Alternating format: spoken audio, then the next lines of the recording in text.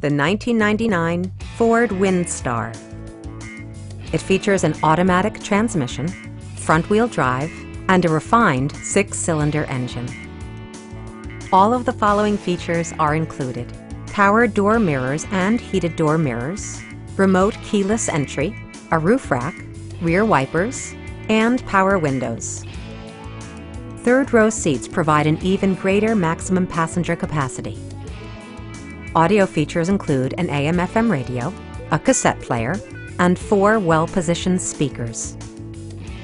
Ford ensures the safety and security of its passengers with equipment such as dual front impact airbags, a panic alarm, and ABS brakes.